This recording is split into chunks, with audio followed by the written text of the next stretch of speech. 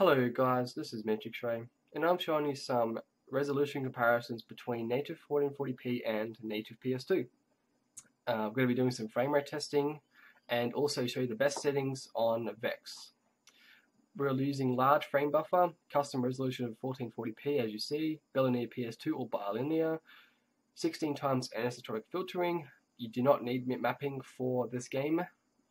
Um, full safest and we're using 4 times MSAA. That's just to smooth out the jaggies. This game is not really too demanding for um, for frame rate. The frame rate's holding up really well, but it's also extremely confusing in how it works. I'll explain it very shortly when we get in the game. I'm using 4 times. It, it holds up alright.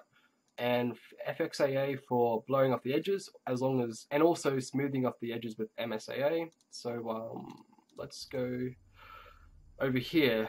I've got the MTVU hack turned on. It's just to hold, uh, to keep a steady 60 frames. That's pretty much it. It's not optional. Oh wait, it is optional, sorry. You can have that off, doesn't really matter.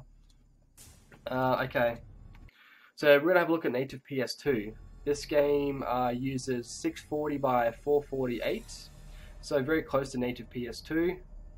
And yeah, let's have a look.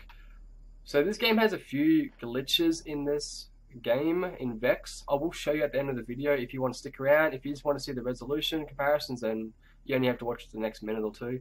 So as you see, this game targets 60 frames, but then again, as I said, this game doesn't always target 60. It's a bit strange. It always flicks to 60 to 30. It's like a some sort of like a some sort of weird VSync. So like if you go on one part of the game, it flicks to 30, and if you go to another part of the game, it flicks to 60.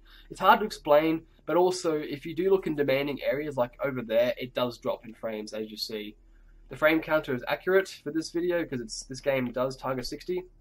Now this is native PS2. There are loads of uh, aliasing as you see on the ground, also everywhere else. It is a bit of a blurry game, unfortunately. But let's have a look at native 1440p. Now, native 1440p is in hardware mode and software mode is native PS2. Now in hardware mode, as you can see the moon's got some weird, weird box around it. It's just a weird glitch. The game run, does run smoother on uh, hardware mode on P, um, native 1440p. So as you see, there's a few glitches right there. MSAA does cause that weird flickering shadow glitch, so you can turn it off and it'll be running better.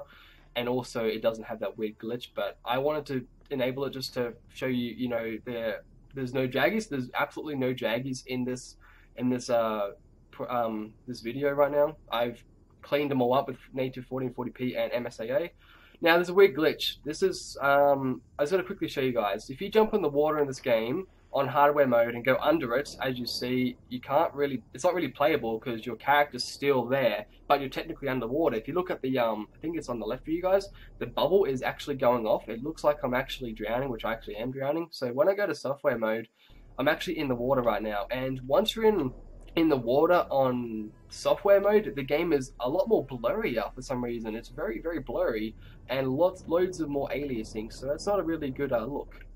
Um, so the only way to play water levels in this game is you have to play on software mode, which is native PS2.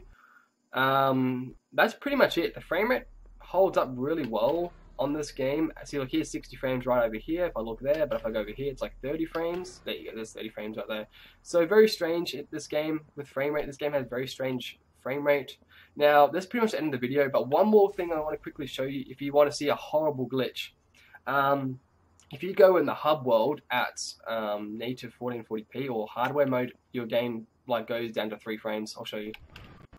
As you see, look, there's a frame rate counter on the top left. If you guys look at it, as you see, the game does run awfully slow. So if you do play this game on um, on native um, hardware, uh, just don't go in this area because your frame rate drops horribly, really horrible. So what you're gonna do is look five frames, two frames. This is F9 that one frame, oh my god. Hold up. So when you go in plain software mode in the hub world, it runs nice. It's like 30 frames, but that's okay. Anyway, hopefully you guys enjoyed this video, and yeah, I'll see you guys later. Thank you for watching.